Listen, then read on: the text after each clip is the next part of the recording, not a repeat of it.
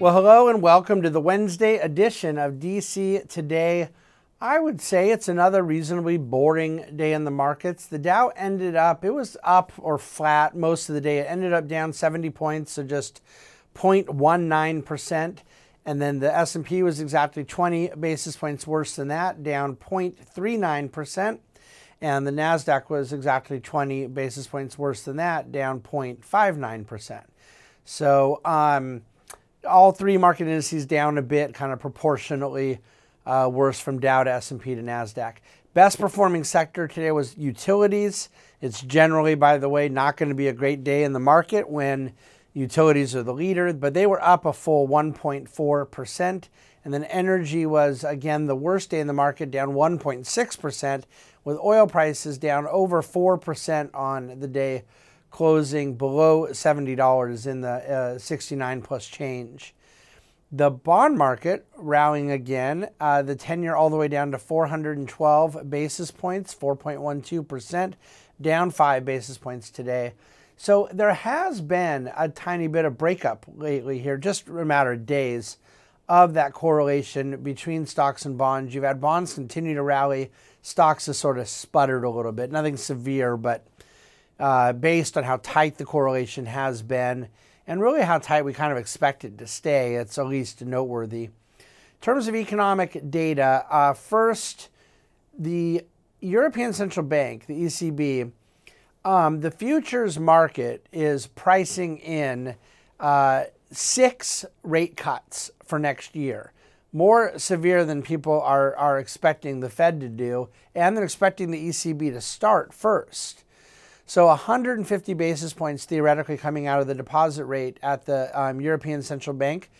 Of course, the futures market could be wrong, but that's what the market expectation is now, which is quite surprising. Um, the ADP private payrolls number came this morning 103,000 new jobs in November, but 120,000 have been expected. The bulk of the slowdown we see is in leisure and hospitality, which had been utterly on fire uh, since the kind of post COVID reopening now for a couple years. Other economic data today, the trade deficit came in at 64.3 billion, which was exactly in line with expectations.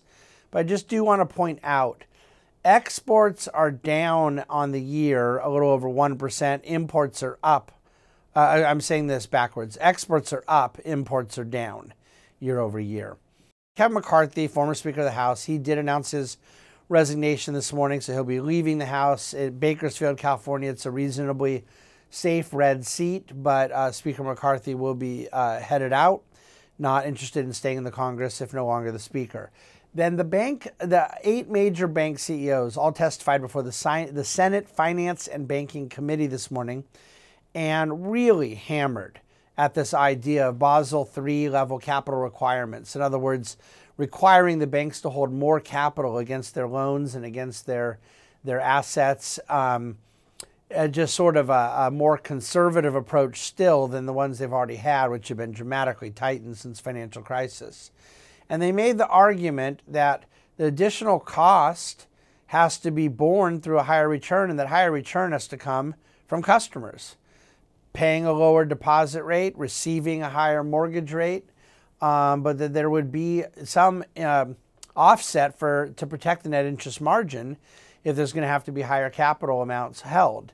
I don't know that the Senate understands all this stuff. I thought that the banking CEOs did a good job today, but I think it's a big deal. I think that um, if they were to fully go forward to implement what has been recommended, uh, it could be uh, real problematic in terms of the plumbing of our financial system.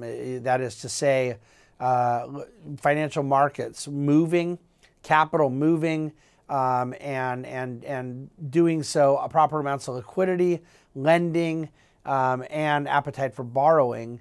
That there is a very good chance at a time when regional banks have already really gone to the sidelines.